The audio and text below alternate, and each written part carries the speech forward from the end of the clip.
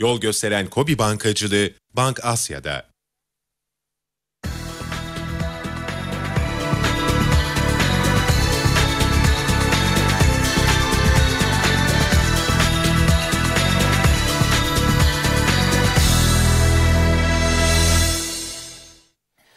Günaydın sevgili seyirciler. Para Notası'nda sizlerle birlikteyiz ve bugün 27 Eylül 2013 Cuma haftanın son günündeyiz. İlginç bir hafta oldu piyasalar açısından. Bu e, haftada genel olarak şimdi kısa bir değerlendirme yapacağım. Biraz sonra reklama gireceğiz. Reklamdan sonra da reel sektörden bir konuğum olacak. Hamzalar Tekstil e, Yönetim Kurulu Başkanı Sayın Hamza Öner bizlerle birlikte olacak büyük dev bir tekstille ilgili değil ama yatırım yapıyorlar ve barış sürecinde e, çok önemli bir yatırım olduğunu düşünüyoruz. Hem e, makroekonomik dengeleri onlar nasıl e, karşılıyor onu konuşacağız hem de bu Diyarbakır'da yapılan o büyük yatırımı konuşacağız Sayın Hamza Öner'le. Ama onun öncesinde isterseniz şöyle bir genel piyasalara bakarım, bakalım ve e, bir genel özellikle e, yorum e, vermek istiyorum. Biliyorsunuz geçen hafta Perşembe e, sabahı e, bütün piyasalarda büyük bir coşku vardı ve bu coşku e, Amerika Merkez Bankası Fed'in vermiş olduğu e, kararla ortaya çıktı. Tahvil alımını azaltır mı azaltmaz mı? Yani dünyada bastığı parayı miktarını azaltır mı azaltmaz mı derken azaltmamaya, belki bunu Ekim ayına, belki Kasım ayına ya da Aralık ayına bırakmaya karar verdi. Ve böylelikle piyasalar buna çok sevindi. Ve aşırı da bir reaksiyon verdi. Borsa e, endeksi 74 bin seviyesinden biliyorsunuz 80 bin 500'e kadar geldi. Ondan sonra da geri çekilmeye başladı.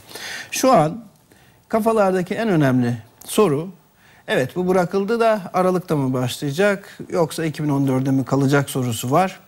Yani bu soruyu sormak bile gerçekten e, hani bu ülkede yaşayan birisi olarak e, çok e, hicap duyuyorum diyeyim. Çünkü dışarıdan para gelmezse, onlar para basmazsa biz burada ciddi anlamda bozuluyoruz. Ve işte dolar alıp başını yukarı gidiyor. E, birçok reel sektör ve birçok e, yatırımcı önünü göremiyor.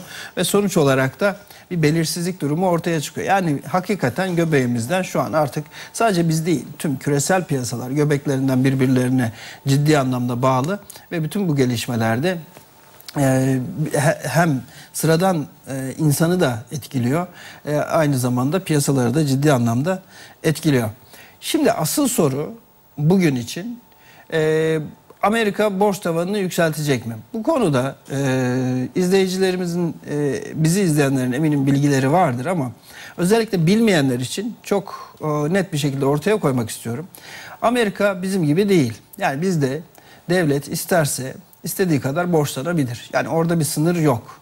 Gerekli görürse hükümet e, ve hazine tahvil satarak istediği kadar borçlanabilir. Bunu da harcayabilirdi. İşte Amerika'da e, başkan e, tek başına yetkili değil.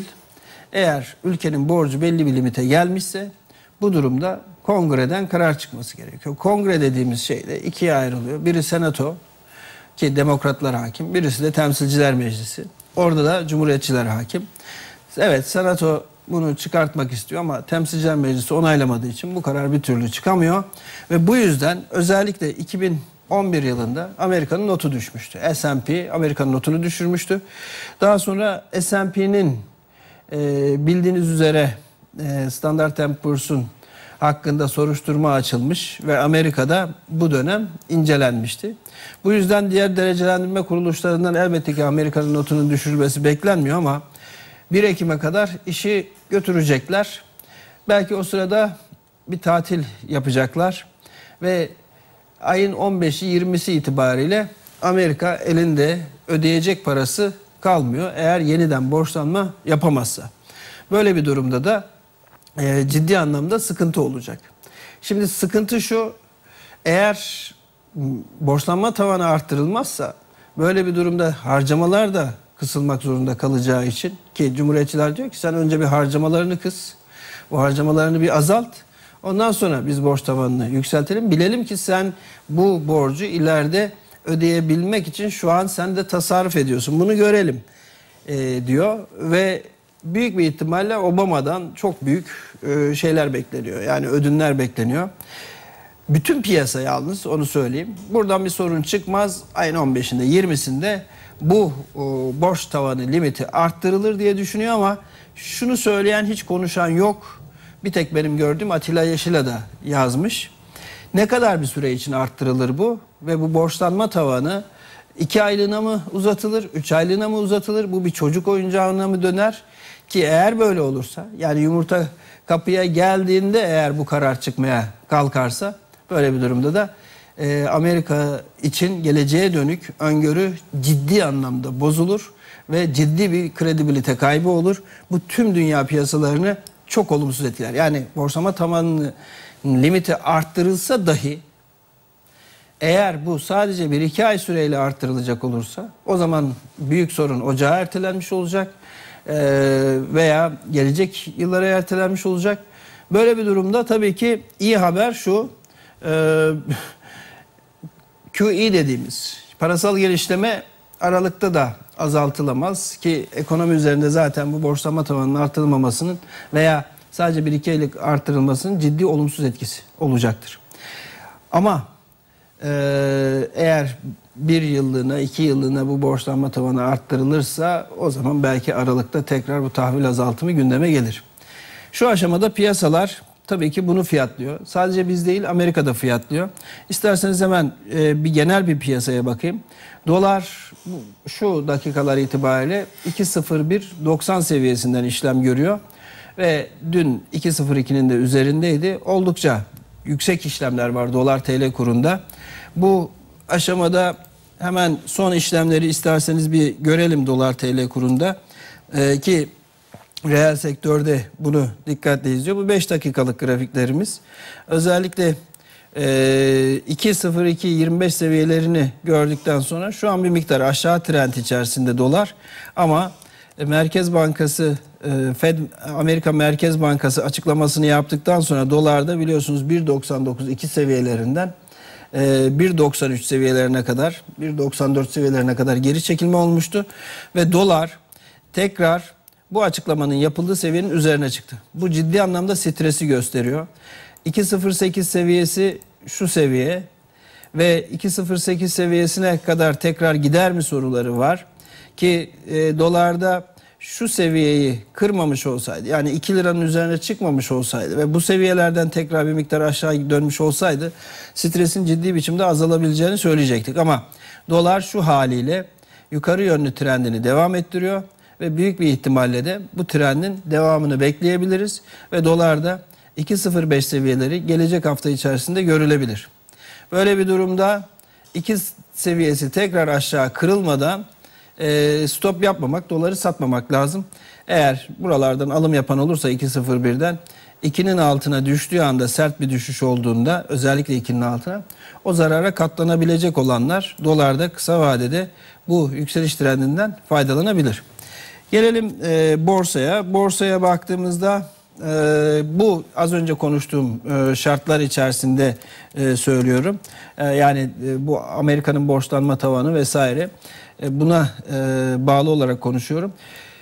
Bu haber geldiğinde Fed'in son kararı açıklandığında endeks yükselmiş ve 80.500'e kadar gelmişti. O dakikadan itibaren düşmeye devam ediyor ve dün itibariyle de 75.500 seviyeleri görüldü. Ee, sürekli bir aşağı yönde düşüş var. 60 dakikalık grafikler e, bugünkü yorumumu büyük bir ihtimalle okudunuz bizi izleyenler e, Bilgi Yatırımcı.com sitesinden ki e, şöyle bir grafik çizdim. 60 dakikada nereye kadar gevşeyebilir dediğimizde, nereden tepki gelebilir dediğimizde ilk şu çizgi altın rasyo olarak verdiğimiz %23.6 çizgisinden yukarı dönüş beklerdik borsada. Ve böyle bir dönüş e, olabilirdi gerçekten. Ama altta görüldüğü üzere işlem miktarları bu bölgelerde çok artmasına rağmen bir türlü borsa yukarı gidemedi ve aşağı geçti. Şu an yeni hedefi yaklaşık 74 bin seviyesi. Ve 74 bin seviyesine kadar geri çekilme söz konusu olabilir.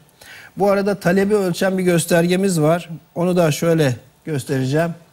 Ee, evet bu talebi ölçen gösterge talep konsantrasyon eğrisi dediğimiz bu gösterge dipte seyrediyor. Yani şu an adeta talep yok, satış baskısının çok yoğun olduğunu gösteriyor.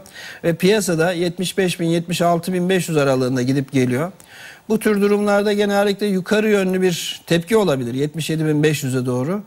E, fakat bu e, biraz aldatıcı bir tepki olabilir. Buna çok fazla kanmamak lazım. Genel olarak bizim e, önerimiz borsada şu an yeni pozisyon açma, açılmamalı. Yani buradan bir yükseliş olabilir. 77.500, 78.000'e doğru hatta gelebilir ama bu bir miktar aldatıcı olur. Bunun güçlü olduğunu söyleyebilmemiz için en azından 130 ila 140 e, 150 milyon lot arasında bir hacimle çıkış başlamalı ki o zaman alım yapılabilsin. Onda bile yeniden geri dönüp ikili bir dip yapabilir. Buna dikkat etmek gerekiyor. Dolayısıyla borsa teknik açıdan şu an çok olumlu gözükmüyor.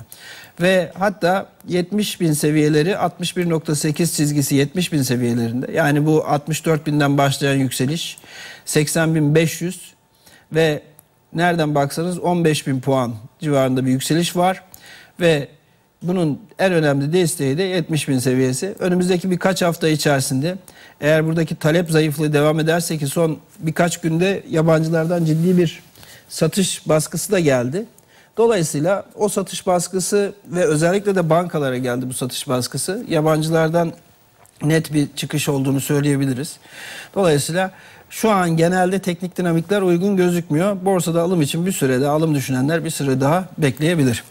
Evet bunu bu şekilde de verdikten sonra isterseniz şöyle kısaca bir de e, Forex e, izleyenler için Euro dolar paritesi çok fazla soruluyordu. Euro dolar paritesindeki hareketlere bir bakalım. Euro dolar paritesinde e, Fed kararı sonrasında hani piyasaya daha fazla dolar verilmeye devam edilecek denilince euro değer kazandı ve 1.35 60 seviyelerine kadar gelmişti euro. Bu seviyelere kadar geldikten sonra en son 1.34 60'a kadar düştü. Yani 1.35 60 ile 1.34 60 aralığında bir sıkışma var. Burada asla paritede işlem yapılmamalı şu an. Yani her iki yönde de hareket olabilir.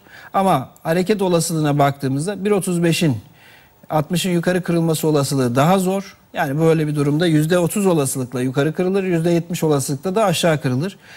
Dolayısıyla burada beklemede kalmalı. 1.34 50 aşağı geçildiğinde örneğin 1.34 20 civarı buralara geldiğinde bu kırılma durumunda short pozisyon açılarak yaklaşık olarak 1.33-20 hedeflenebilir Euro dolar paritesinde.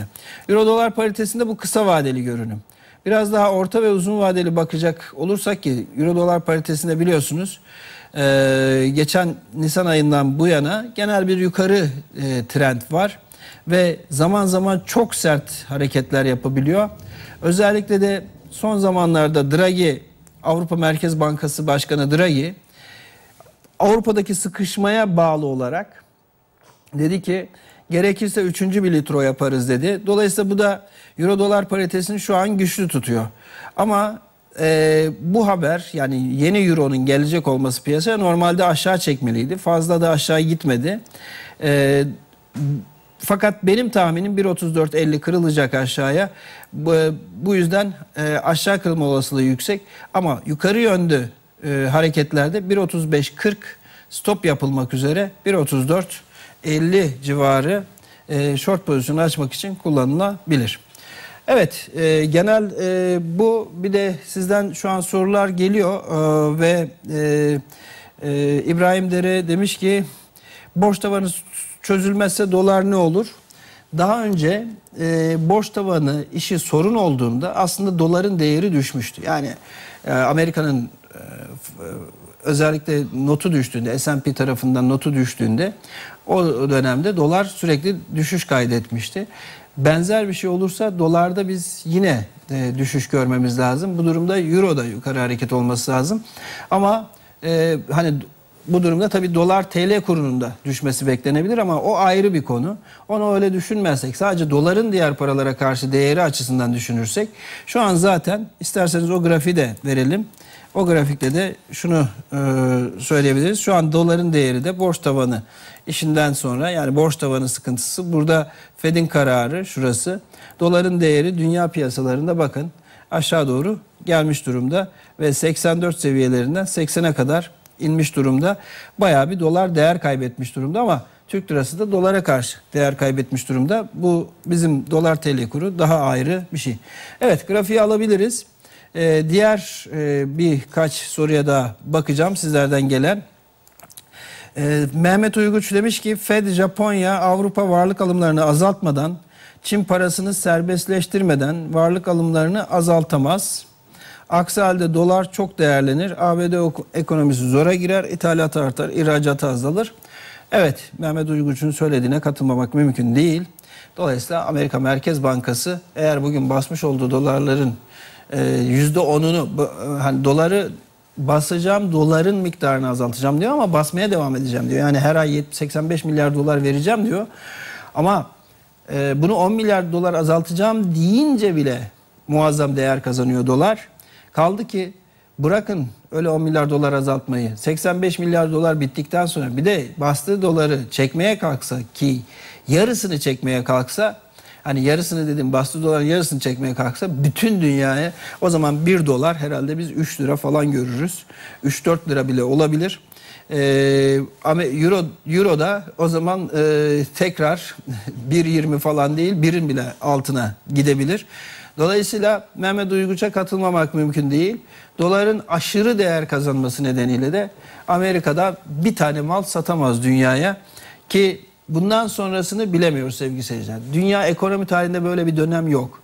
Yani İkinci Dünya Savaşı sırasında ülkelerin borçları çok arttı ve bu borcu çevirmek için zorlandılar. Bu borçların ödenmesi sorundu vesaire ama dünyada Avrupa Merkez Bankası bütün gelişmiş ülkelerin Japonya, Amerika hepsinin para bastığı, bu kadar para bastığı ve bu kadar para basılan bir dönem yok. Bu şuna götürüyor bizi uzun vadeden bahsediyorum. Hemen böyle deyince sakına yarın beklemeyin yarın olacağını ama önümüzdeki 4 yıldan 5 yıldan bahsediyorum. Bu basılan paralar eğer kolayca çekilemeyecekse o zaman sonuç ne olur? Bize ekonomide birinci sınıfta öğretmişlerdi bunu. Bütün enflasyon parasal bir fenomendir. Bu artık 2 2 daha 4 eder gibi bir doğrudur. Birinci sınıf ekonomi kitaplarında anlatır. O zaman dünyaya ciddi bir enflasyon gelecek demektir. O zaman uzun vadede yatırım yapılabilecek en önemli emtia da altın. Başka bir başka bir e, çıkar yolu yok. Bu para bu kadar kolay çekilemeyecekse böyle bir durumda e, altın uzun vadede yani önümüzde, önümüzdeki 3-5 yıl içerisinde hala çok güvenli yatırım aracı olmaya devam eder. Evet bu arada e, Turgut Çin diyor ki Fed öncesi tüm gelişmekte olan ülke para birimleri zirvelerini gördü. FED sonrası diğer gelişmekte olan piyasalar gördükleri zirveden yüzde civarı altındayken bizim TL sadece yüzde üç aşağıda. Bu fark merkez bankalarının tutumlarından kaynaklanan fark olduğunu düşünüyorum diyor. Yaşanan olumsuzluklar bu sefer topyekün değil biz ayrıştık diyor. Evet buna da katılmamak mümkün değil. Bir de Turgut Polat Dolar Japon yenine bakalım demiş. Evet bakalım dolar Japon yenine. Bir grafiği verelim arkadaşlar. E, dolar Japon yeninde. evet. Dolar Japon yeninde e, hemen dikkatimizi çeken şey bakın şu orta çizginin etrafında ciddi bir dalgalanma var. En üst direnç noktası 103. Aşağıda 95 e, seviyesi. Ve burada muazzam bir sıkışma görülüyor. Bu dolar Japon yeni grafiği yukarı gittikçe dolar değer kazanıyor. Japon yeni değer kaybediyor. Yani bu grafik yukarı gittikçe. Aşağı gittikçe Japon yeni değer kazanıyor. Fakat eğer şeye bakarsak, e, günlük grafiğe bakacak olursak dolar Japon yeninde muazzam bir değer kaybı oldu. Bakın bu o, evet şöyle şey yapalım. Evet özellikle 2012'nin sonlarında başlayan bu AB Economics dediğimiz e, olaydan sonra e, Japonya'nın ciddi anlamda değer kaybetmeye başladı ve 103'e geldi.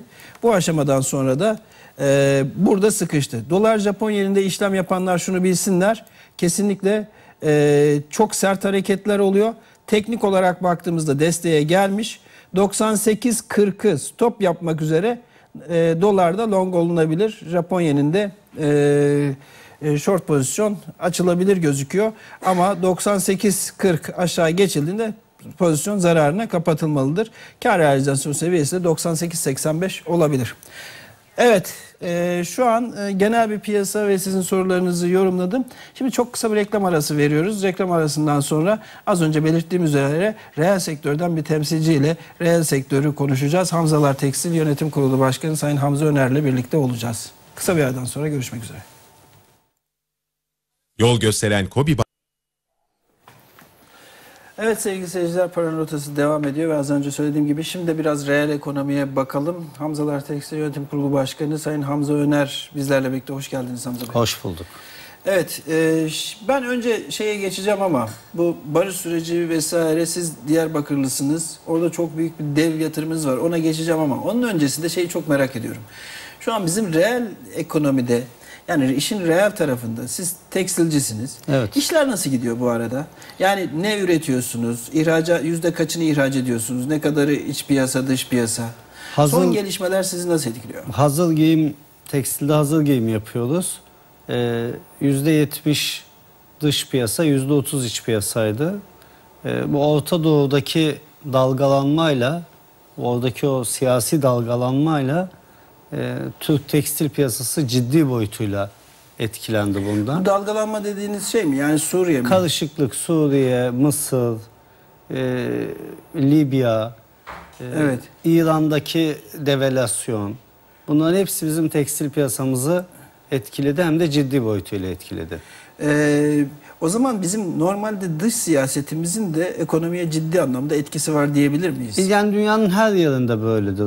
Tabii ki etkiler. Biz de etkilendik. Yani şöyle mi oluyor? Mısır'a mal satarken Mısır'daki adam artık mal almamaya mı başlıyor sizden? Ne oluyor? Veya oradaki olaylar nedeniyle insanlar hani harcamıyor da mı o yüzden almıyorlar?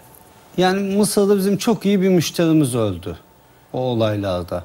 Ya orada insanların can derdi varken kimsenin kıyafet düşünecek durumu söz konusu bile değil yani orada. Anladım.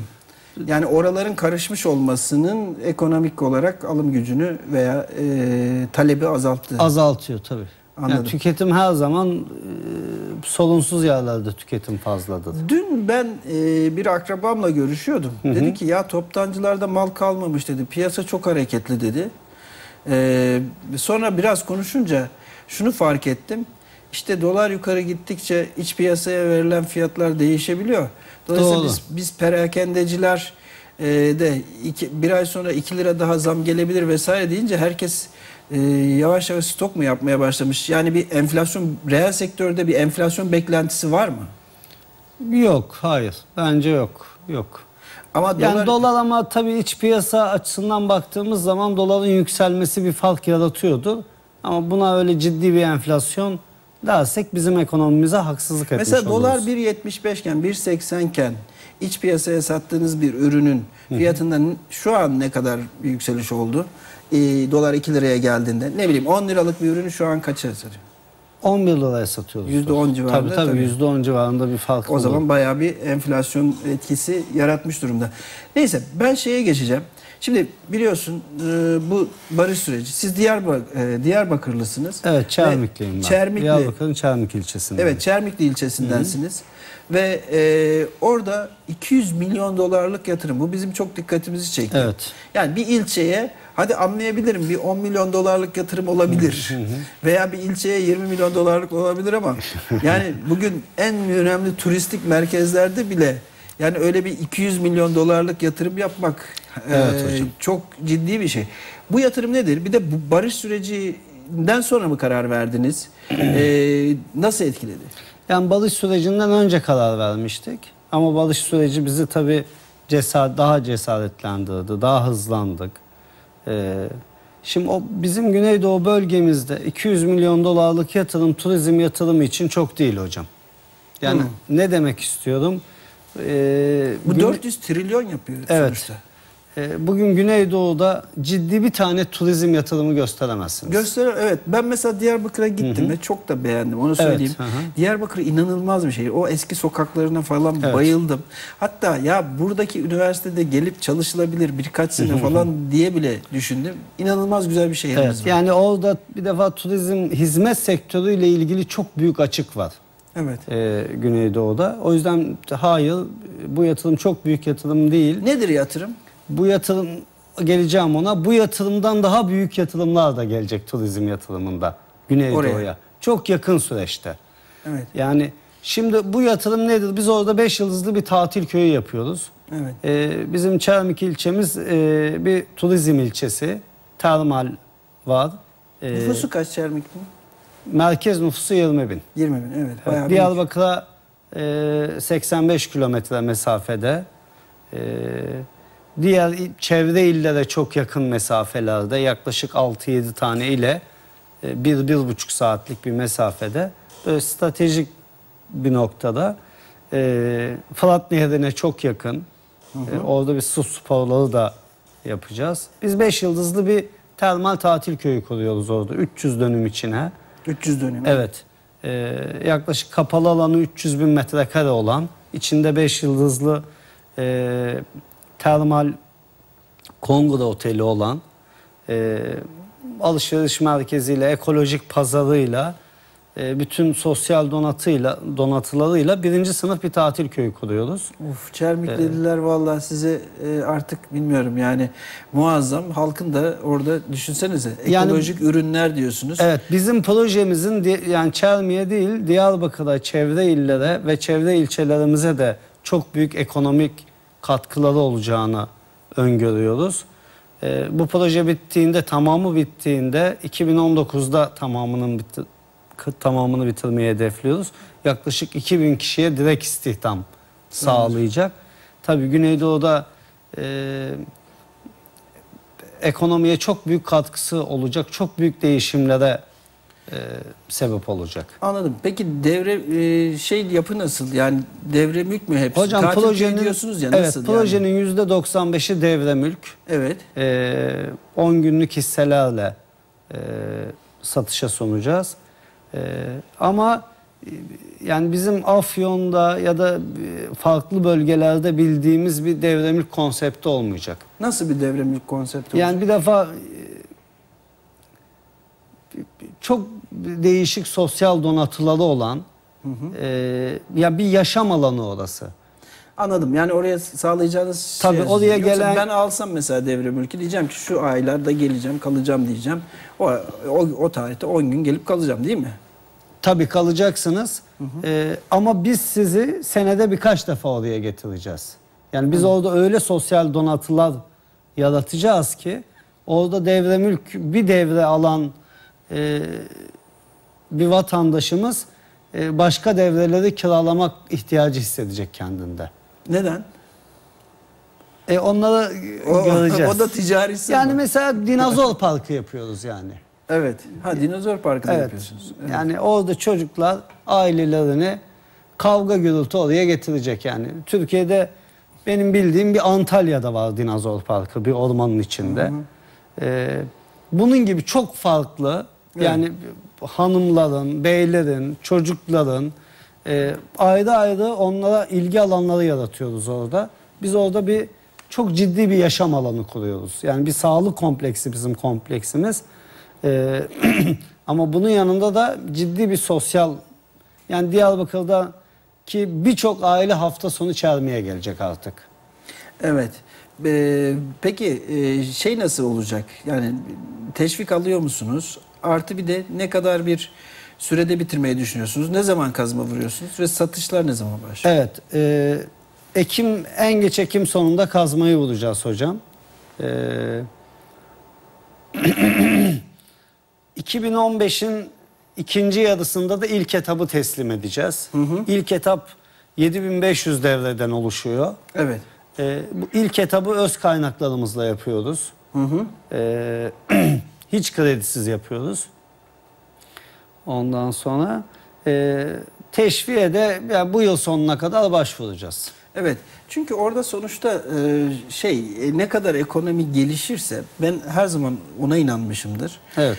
E, ne kadar ekonomi gelişir, ne kadar insanlar iş bulursa o kadar gerçekten biz bu terör sorun, sorunundan e, kurtulmuş oluruz. Şimdi bu bölgelerimiz zamanında yanlış politikalar izlenmiş ve gerçekten zamanında hakikaten e, bir nevi e, geri kalmış, geri bırakılmış diyeyim. Ondan sonra da biz çok büyük problemler yaşamışız ve siz şimdi burada 2000 kişiye istihdam sağladığınızda Evet. buraya ciddi bir zaten e, şey yaratmış olacaksınız. Yani zaten bir başlangıçta daha inşaat başladığında bir talep yaratmış olacaksınız. Orası yavaş yavaş e, canlanmaya başlayacak. E, Ben dün gece Diyarbakır'dan geldim. İnşaat anlaşmalarını yapmak üzere gitmiştim. Ee, e tabii yani bir bizim açımızdan isti- istihdam başladı şu anda. Ya ben size demin yayına girmeden önce şey dedim ya. Vallahi sizi tebrik ederim dedim ya.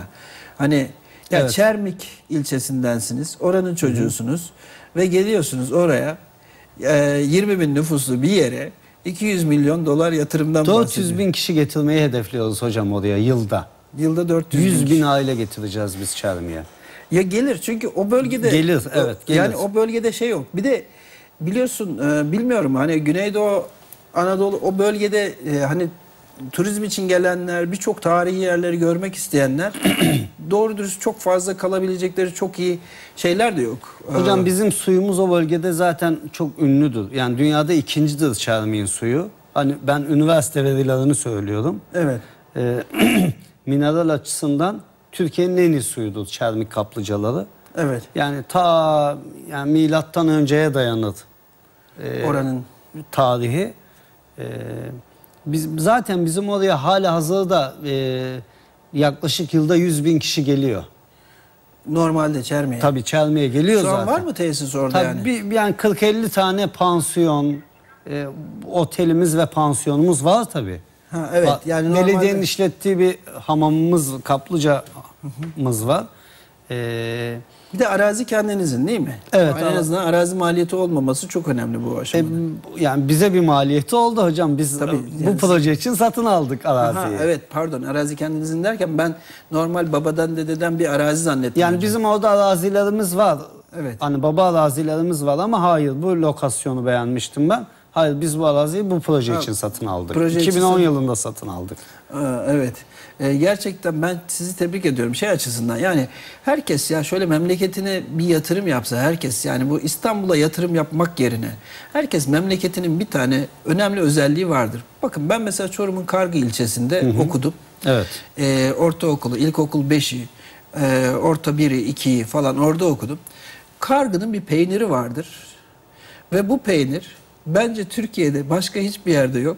Bulmak için gerçekten şeyde bir tek şeyde bulabiliyorum. Şu yolda Evet. mola veriyoruz. Bir tek orada bulabiliyorum. Hani reklam olmasın diye şeyi söyleyemiyorum ismini de. Ee, o kargı peyniri deri tulumundadır. Ve bunu çay çok yoğun bir tadı vardır. Çayla yersiniz. Yani orada birisi hakikaten şu peynirin tanıtımına bir para harcasa Evet. Emin olun var ya oradaki bütün yöre köy kaldı. Mesela çeltik, pirinç. Herkes Osmancık pirincini bilir ama kargı pirincini bilmez. Emin olun çok e, kaliteli bir pirinç yetiştirir. Ve insanlar orada geçimini onunla sağlar. Her yerin bir şeyi var. Bir tane de oradaki iş adamı çıksa bir de oraya yapsa, Yapsa. veya evet onu yapsa. Benim İnşallah gönlümden hep gerçekten biz bu şekilde ülkedeki potansiyelleri harekete geçirebiliriz ve kinete çevirebiliriz. Ben size gerçekten bir sıradan vatandaş olarak tebrik ediyorum. Yani Çok memleketinize böyle bir yatırım yapmışsınız. Yani inşallah ülke ekonomimize ve bizim bölgemize e, büyük katkılar sağlar. Yani bizim bölgemizde büyük acılar yaşandı geçmişte. E, Evet. İnşallah İnşallah. e, ülkemiz için hayırlı olur. Hayırlı olsun diyelim. için Çok ve- teşekkür ediyorum Hamza Ben Bey. çok teşekkür ederim hocam. Sevgili seyirciler, evet konumuz Hamzalar Tekstil Yönetim Kurulu Başkanı Hamza Öner'di. Paranın rotasında da bizle- bizlerle birlikte olduğunuz için sizlere de çok teşekkür ediyoruz. Pazartesi sabahı tekrar görüşmek dileğiyle. Hoşçakalın.